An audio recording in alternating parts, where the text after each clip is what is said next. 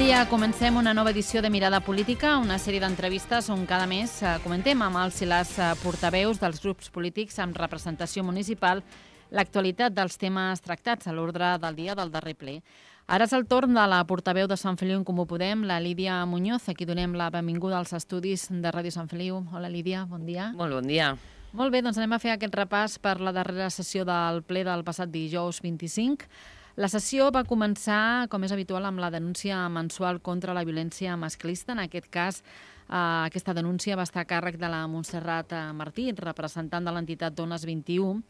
El discurs de la, de la Montserrat va posar èmfasi en la violència que pateixen les dones grans i va remarcar la discriminació que viuen vers els homes grans. No? La representant de Dones 21, com dèiem, va remarcar la realitat que viuen moltes eh, dones que pateixen violència de gènere. Només un 33% va dir de les dones grans que pateixen aquesta violència utilitzen els serveis disponibles i comparteixen menys la situació la seva situació amb l'entorn més pròxim, eh? Es greu, això. Eh? Sí, de fet, eh, és una de les situacions que també es treballa des del Consell Consultiu de la Gent Gran al, al, al Consell Comarcal i la Montse és una persona doncs, molt activa dins aquest Consell Consultiu, a part de doncs, un col·lectiu molt, molt, molt actiu. I, i jo crec que eh, posar el focus també a la visibilització de, de la gent gran i de les dones grans doncs, és molt important, no? perquè sí que és cert que anem guanyant drets, anem guanyant visibilitat, eh, cada cop hi ha més casos que es denuncia més, no? No, no tampoc vol dir, no hi ha una relació directa entre els casos que ara escoltem eh, i les denúncies eh, directes, sinó que, bueno, que també és el que eh, s'anima més gent a, a denunciar.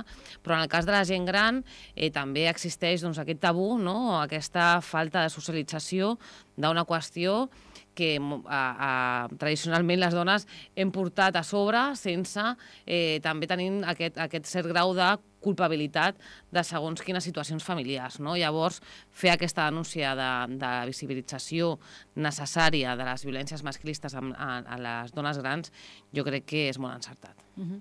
Entrem en matèria, eh, a l'ordre del dia. La gestió del complex va estar de nou a l'ordre del dia, com dèiem, des de fa uns anys la gestió del complex s'ha convertit en un tema recurrent, podríem dir-ho així. Al ple municipal de novembre del 23 es va portar a aprovació una segona ampliació del termini del període transitori del complex, més enllà dels sis mesos, a partir de l'aprovació definitiva de la liquidació del contracte.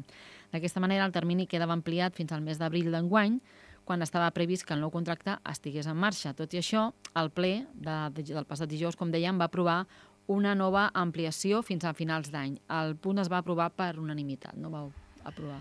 Sí, jo crec que eh, aquest tema evidencia no? una de les qüestions eh, de, la, de, de la complexitat de, de la gestió municipal, no? perquè eh, és molt fàcil estar a l'oposició, com ens passava a nosaltres en el mandat anterior, criticar una gestió, sobretot administrativa, de, de, de, de, de la consecució de, de, la, de, bueno, de la dissolució de, del contracte del complex, d'aquell plec de condicions que el que anava era fent un efecte bola de neu no? amb els comptes i amb la situació de, del complex i, i centrar-nos no? i derivar el, el tema en centrar-nos en una qüestió administrativa quan ens hem de centrar a la defensa d'un dret de la ciutadania no? i d'un servei públic com és el complex municipal de piscines.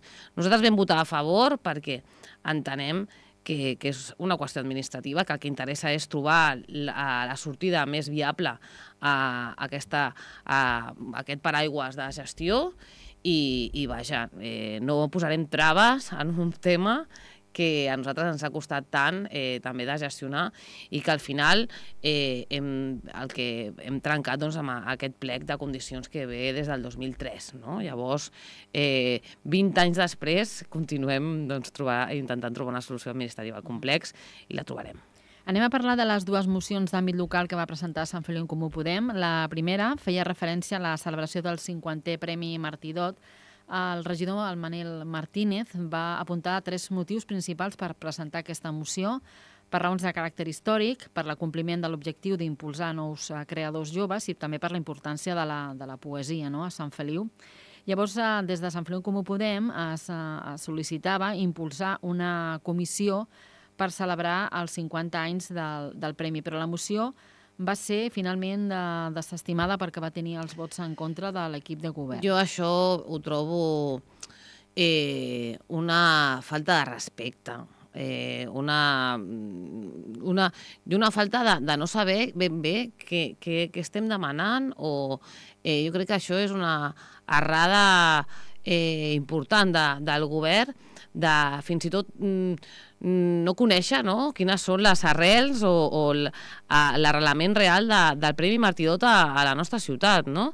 Eh, nosaltres quan vam començar, el, a, bueno, quan iniciem el nostre govern el 2011, a, a, al, al Premi Martidot es presentaven dues, tres obres originals i en, en guany s'han presentat a 33, si no m'equivoco, i portem també una trentena en l'anterior edició i el que s'ha aconseguit és gràcies, tam gràcies també a, a, a les entitats vinculades al món literari, eh, també a la Setmana de la Poesia, que també doncs, ja és eh, un altre dels trets característics de la nostra ciutat.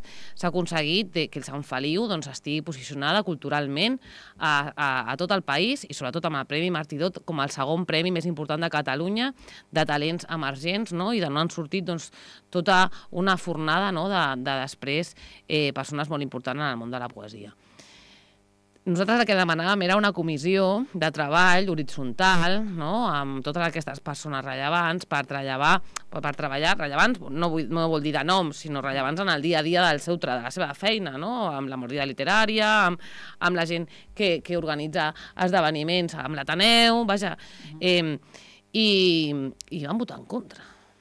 O sigui, mm, jo crec que porten una ràbia intrínseca que no són capaços de, treure, de treure-se-la de sobre. No? Quan nosaltres, des de l'oposició, el que estem plantejant és una proposta no, en positiu per, per, per poder treballar conjuntament eh, doncs, l'aniversari, no, al mig segle, del, del Premi Martidot, del qual doncs, ens hem d'enorgullir com a ciutat, i aquí no es tracta de posar-nos medalles uns o els altres, sinó eh, com a ciutat doncs, sortir eh, doncs, més forts no? per la defensa de la cultura de la poesia, que al final és una eina per fer societats més crítiques i amb més coneixement no? i amb més preocupació pel seu entorn immediat. Uh -huh.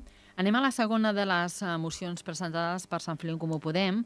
Aquesta feia referència a l'adhesió i suport a la xarxa de refugis climàtics de l'àrea metropolitana de Barcelona. Uh, de fet, tu vas detallar al ple algunes de les mesures executades dins del Pla Director de l'Arbrat i el Pla d'Energia i Clima i, i vas demanar també ampliar la xarxa de, de refugis climàtics aquí a Sant Feliu.